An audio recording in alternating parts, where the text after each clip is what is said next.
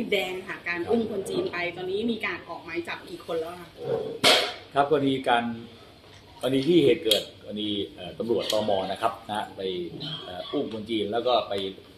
เรียกเงินนะครับหรือเรียกเงินจำนวน 10 ล้านนะครับ แล้วก็คนจีนก็ได้โอนเงินจากประเทศจีนเข้ามานะครับนะแล้วก็ตำรวจต่างๆก็รับเงินไปแล้วนะครับนะเพราะฉะนั้นอันนี้ความผิดทางสันนี้เป็นความผิดที่ชัดเจนนะครับนะซึ่ง ท่านผบตรก็ได้มอบหมายแล้วก็สั่งการให้ผมเนี่ยดำเนินคดีทั้งหมดนะครับนะซึ่งเมื่อคืนเนี่ยก็ทำบันดึกนะครับ ก็รวบรวมพยานฐานทั้งหมด แล้วเช้านี้ก็อยู่ระหว่างการออขอหมายจับนะครับขอมั่นหมายจับต่อศาลอาญาทุจริตกลางนะครับนะก็แต่ว่าในส่วนตัวผู้กระทำผิดเนี่ยวันนี้เราเเราเชิญตัวมาแล้วนะครับนะก็จะมีมีสารวัตรตมสารวัตรสืบสวนตมก็จะมีสารวัตรสืบสวนเอ่อตมหนึ่งสองคนนะครับก็เป็นเพื่อนรุ่นเดียวกัน แล้วก็มีตำรวจชั้นประทวนอีก ประมาณ 4 คนนะครับ แล้วก็จะมีบุคคลภายนอกอีกนะครับนะที่เป็นคนชี้เป้านะครับแล้ววันนั้นวันนี้เรารวบรวมพยานฐานในการไปขอหมั่นหมายจับทั้งหมดเนี่ยเฉพาะวันนี้ 4 รายก่อนนะครับ ก็คือสวัสดิ์สืบสวนบกตมหนึ่งสองราย แล้วก็ตำรวจชั้นประทวนอีกสองรายนะครับนะที่ปรากฏตามภาพนะครับ แล้วจากนี้จะขยายผลนะเพื่อขอมันออกหมายจับส่วนที่เหลือทั้งหมดนะรวมถึง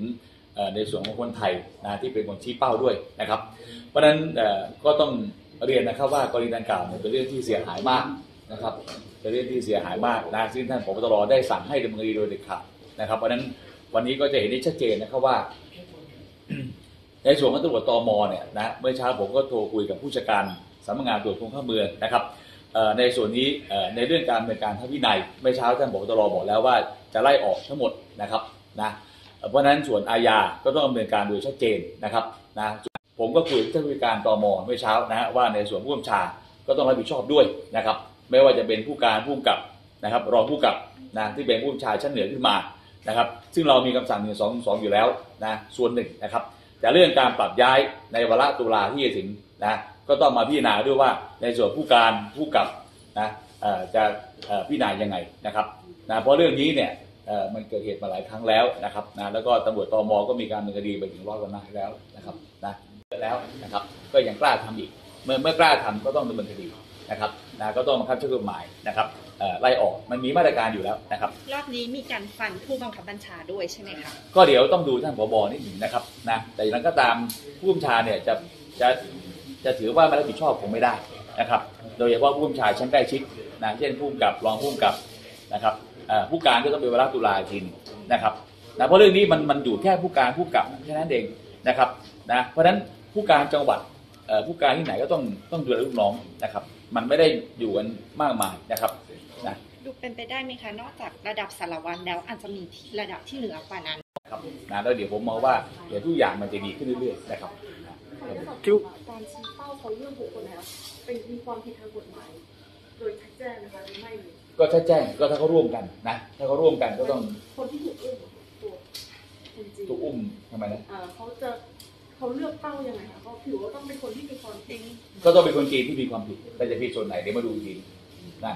ก็วันนี้คนจีนที่ยอมจ่ายอันนี้ก็ต้องมีความผิดด้วยนะแต่ตำรวจเนี่ยไม่ใช่หมายว่าให้ไปรับเงินเขาตำรวจต้องจับกลุ่ม